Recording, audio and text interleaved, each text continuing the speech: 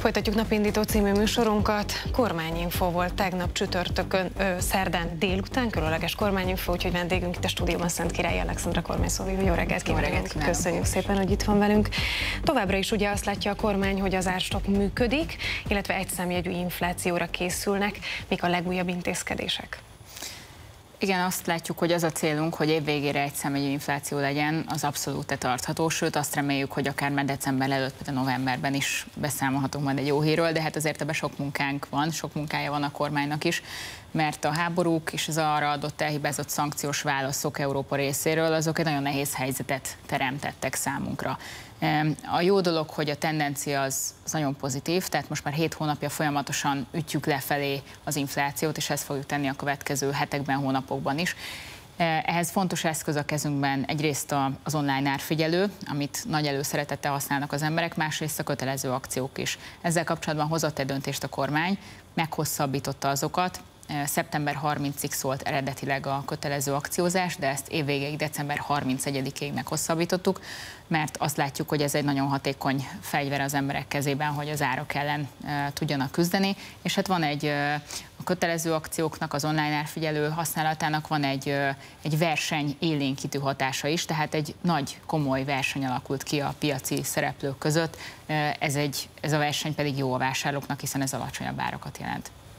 Kiemelten kezeli a kormány már 2010 óta a családok kérdéskörét és a családtámogatási rendszert.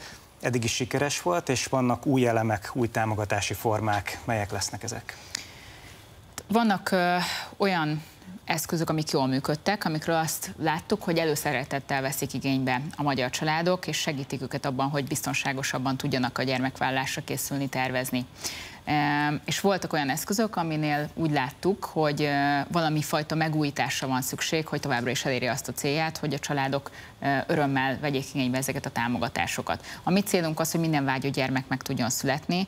Egyébként 2010 óta azért egy komoly fordulatot hajtottunk végre, hiszen akkor 1,23 százalékos volt a születési ráta, tehát 200 szülőre jutott 123 gyermek, ez aztán 1,59-ig kúszott föl 2021 végére, ami még mindig nem azt jelenti, hogy ez már egy ideális arány lenne, sőt, de azért egy komoly fordulat, főleg ahhoz képest, hogy 2010 előtt azért az emberek sokkal nagyobb bizonytalanságba kellett, hogy családot tervezzenek, hiszen a baloldal olyan megszorításokat hajtott végre, ami a családokat érintette, hogy egy nagyon komoly bizonytalansági faktor tett sajnos be gyermeket tervezők életébe. Úgyhogy a fordulat az örömteli, de dolgunk az még biztosan van.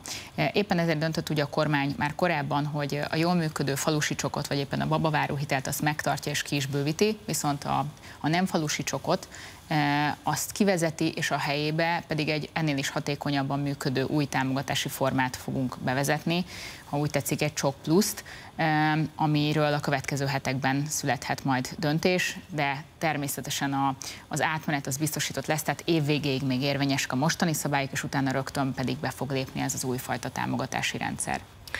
Térjünk át a háború kérdésére, és ezen belül is a gabona kérdésére, ugyan ez a gabona tilalom, az ukrán gabona behozatalmának a tilalma lejár szeptember 15-én, de a magyar kormány kifejezetten védi a magyar gazdákat. Meddig tud elmenni a kormány ebben a kérdésben? Mi mindent, minden eszközt meg fogunk ragadni annak érdekében, hogy megvédjük a magyar gazdákat, és megvédjük a magyar családokat is az élelmiszerbiztonság tekintetében. Több baj is van azzal, hogy az Európai Unió olyan szemellenzős, és nem látják be azt, hogy ami eddig probléma volt, az továbbra is probléma, az továbbra sem oldódott meg. Tehát egyrészt nem igaz az, hogy ez a rengeteg nagy mennyiségű ukrán gabona ez az afrikai országokba menne, hiszen akkor nem ragadna itt Európában, akkor nem lenne szükség ilyen típusú intézkedések meghozatalára. Másrészt a másik nagy problémánk, hogy nem látjuk ennek az élelmiszerbiztonsági szavatosságát, nem látjuk azt, hogy egészen biztosan ezek Európai Uniós sztenderdeknek, magyar szabályoknak megfelelő minőségű gabonák lennének. Tehát egyrészt tönkre teszik a magyar piacot, a magyar gazdákat, másrészt pedig veszélybe sodorják a magyar családok élelmiszerbiztonságit, sztenderdjeit, amit eddig megszoktak. Úgyhogy ha az Európai Unió nem lép magától, akkor a magyar kormány fog lépni, és nemzeti hatáskörben szeptember 15-e után fogunk dönteni arról, hogy továbbra is fenntartjuk majd a tilalmat, ha erre szükség van.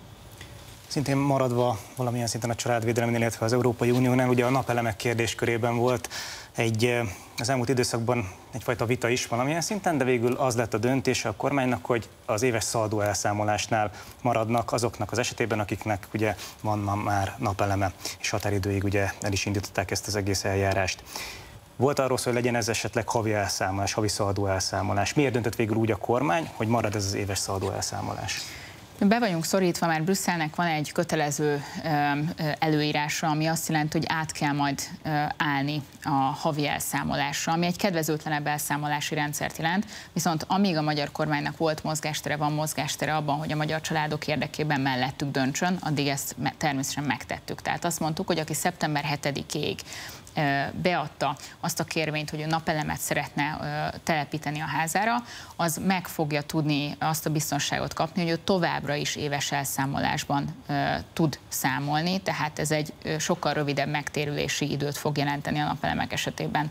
Ugye a havi elszámolással az a baj, hogy még az éves elszámolásban ki tud egyenlítődni éves szinten, hogy nyáron sokkal többet süt a nap, télen pedig kevesebb energia halmozódik fel, és többet használunk el ennek következtében. Havi bontásban ez kevésbé tud kijönni, tehát összességben drágább a havi elszámolás a családoknak, de akik idén szeptember 7-e évfélig tehát bejelentették, hogy napelemet fognak telepíteni, azok a következő évtizedben számolhatnak ezzel a biztos megtérüléssel és ezzel a számítási móddal.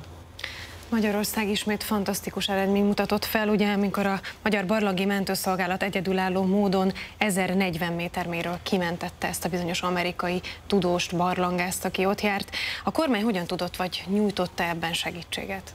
Hát azt hiszem, hogy itt az igazi hősök azok tényleg a, barlangi mentőszolgálat csapatának tagjai, akik elképesztően gyorsan reagáltak, köszönhetően annak is, hogy egy civil szervezetről van szó, tehát nem kellett diplomáciai kérvényt megvárniuk, hogy ez beérkezzen és, és tényleg fantasztikus a, a teljesítményük, úgyhogy le a kalappal vék a, a, az érdem.